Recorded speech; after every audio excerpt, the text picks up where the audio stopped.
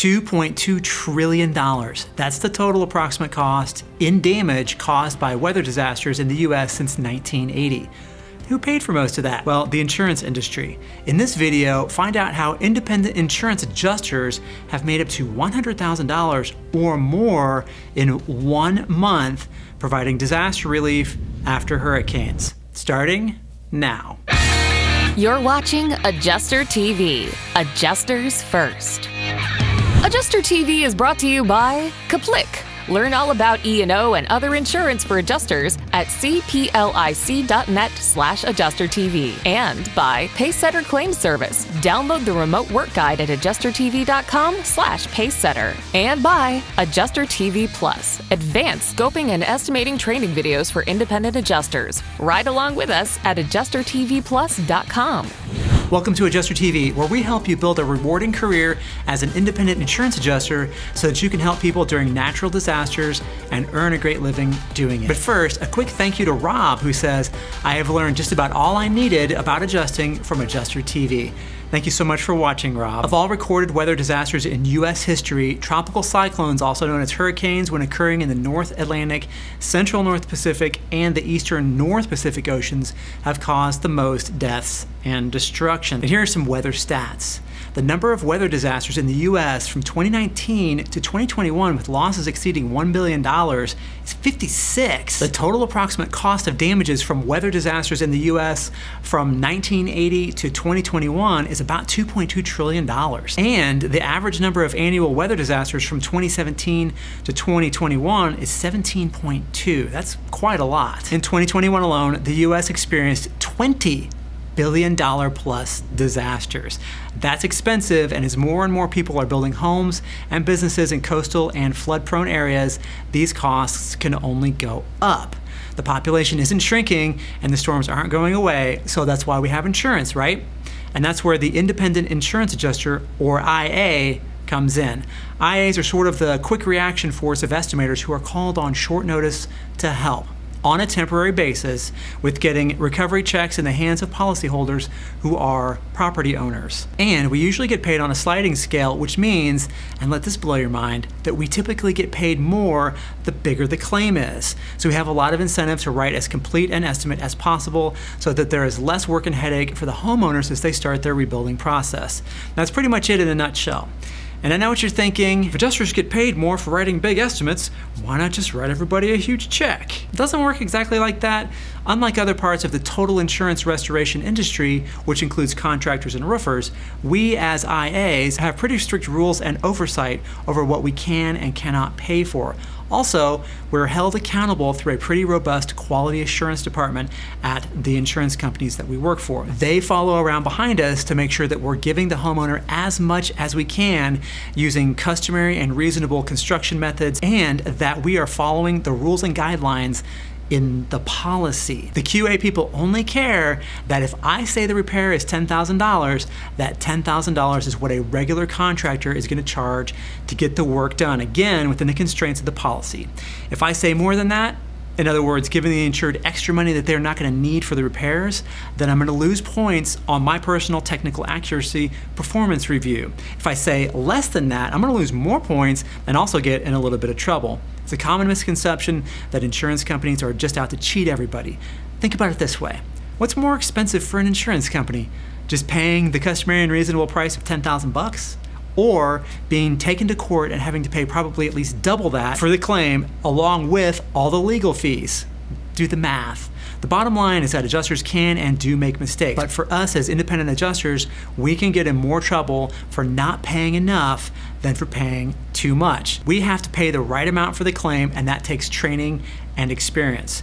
So, how can independent adjusters make $100,000 in one month? We'll get to that in just a quick second. But first, coming up this month, May 2022, Adjuster TV is releasing a brand new free training for new adjusters. It tells you everything that you need to know step by step on how to get started as an independent adjuster. So keep it tuned right here to Adjuster TV for that big announcement. Okay, IAs typically get paid by the claim. So if we can earn an average of say $300 per claim, then if we do four of those in a day, that's about 1200 bucks a day. If we can close claims an average of five days a week on major catastrophe deployments, then in a month, we can close about 86 claims, which is a pretty decent average for an experienced adjuster on a big storm event. 86 times 300 is about $25,000 a month. So that's actually really great money on its own, right? But how could you earn $100,000 a month on a big hurricane? Well, it takes a couple of special circumstances. First, we have to assume that the IA isn't going to do four times the amount of work in a day, and we can also assume that the complexity and scale of destruction also aren't going to go up. So the only thing left is that means that the pay per claim has to go up. So in order to get to that not so mythical $100,000 worth of earnings in a single month, in this example, the pay has to go up four times. So instead of earning an average of $300 per claim, it needs to be about $1,000 per claim. In normal circumstances, adjusters can easily make $1,000 or more on storm claims on an individual basis, but it's generally not the average. There are a couple of ways to get up to or beyond a $1,000 per claim average. And the first is to become a flood adjuster. While I can't really say that flood adjusters will make $1,000 average per claim, I can personally pretty confidently state that flood claims typically pay more per claim, and in many cases quite a bit more, than regular cat property adjusters. Flood claims are pretty common on hurricanes, even low intensity ones, as well as tropical storms and depressions that drop heavy rains for several days, inundating low areas, rivers, and lakes when all the wind adjusters are home.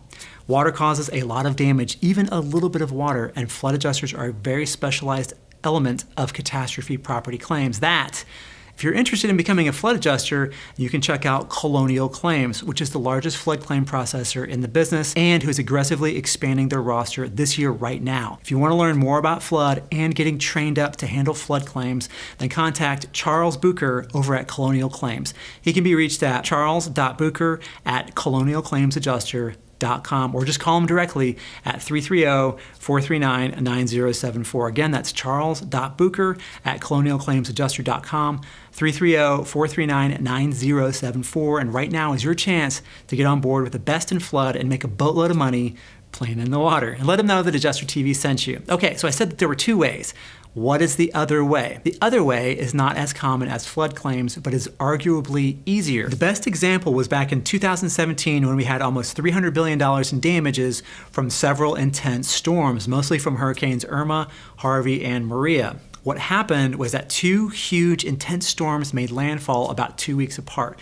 Harvey hit Texas in August 26th, causing widespread damage and flooding and activating just about every available catastrophe adjuster in the country. And then, about two weeks later, Hurricane Irma smashed into Florida. With all the adjusters already deployed in Texas, there was almost nobody available to handle the tens of thousands of brand new claims from Irma in Florida. What happened next is not that common, but it does happen, and when it does, IAs are usually ready for it.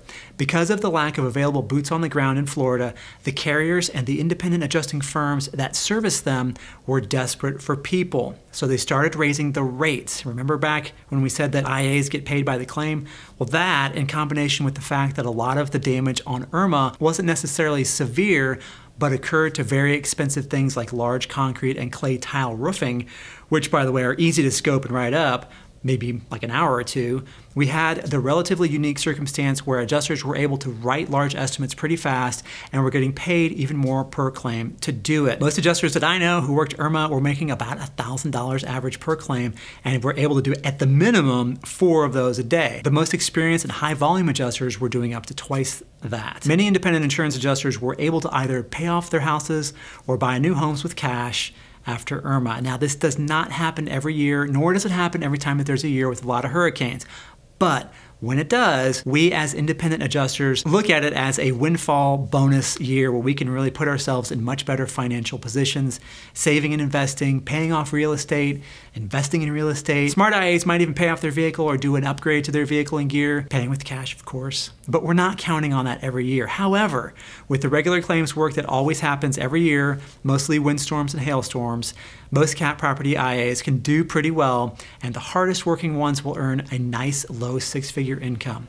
every single year. So if you're interested in exploring this unique career field and learning more about just what exactly an independent property claims adjuster is, you can start watching our full What is an Adjuster playlist over at adjustertv.com. And the link is right down in the description below. And as always, thank you so much for watching and have a great storm.